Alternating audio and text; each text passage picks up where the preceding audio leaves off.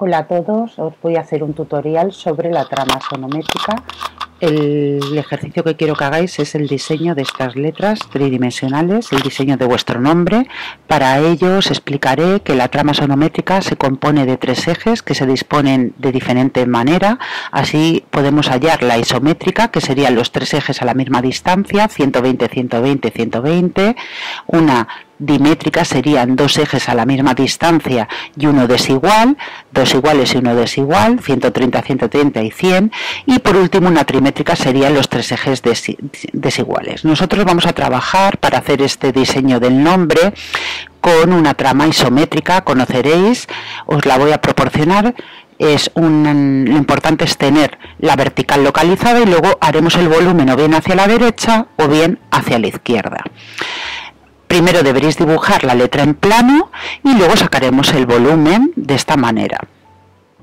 No tendréis problema para dibujar las letras como la L, la A, sino simplemente encontraréis más dificultad en las que tienen diagonales como la V, la M, la N, que tendréis que saliros de la trama. Os aconsejo empezar a practicar con letras sencillas como las que estoy haciendo yo. Primero dibujáis, por ejemplo, dos letras en plano en la misma posición y veis, estoy sacando con la primera el volumen por arriba por la izquierda y en la segunda por abajo por la derecha.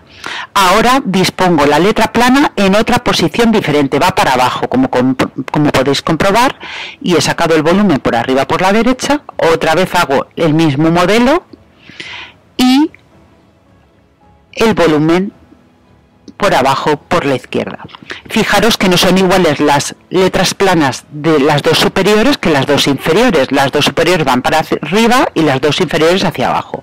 Si no tenéis una trama isométrica no pasa nada. Tenéis eh, cuadrículas en cualquier libreta.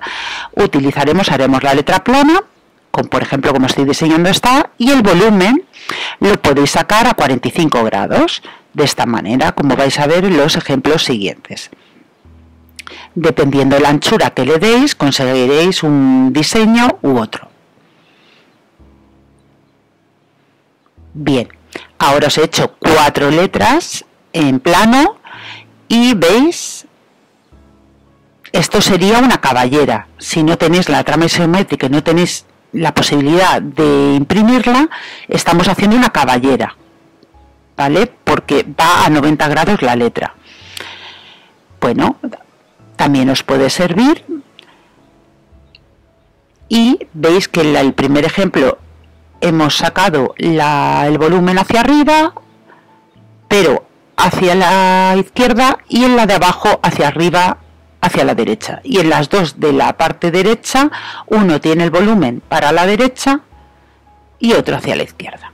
Bien, luego simplemente deberéis colorearla. En el primer ejemplo he cogido una escala tonal de un color con tres tonos y en el segundo pues diferentes colores. A continuación vamos a ver diferentes ejemplos. Aquí podemos ver a en diferentes posiciones con sombreados o trabajadas con textura, también como si se derritiesen las letras. Eh, también se puede hacer la proyección de la letra. Este sería un ejemplo sencillo como este, pero mejor trabajado. Aquí ya entra la proyección en plano, la proyección de la letra en volumen, como el siguiente también. Aquí la proyección como si fuera de sombra, Aquí las letras adoptan dos posiciones alternándose, vistas desde arriba, igual que aquí, derecha e izquierda. En este ejercicio han metido además una perspectiva cónica y estos dos últimos son más artísticos que os pueden dar una idea de un trabajo.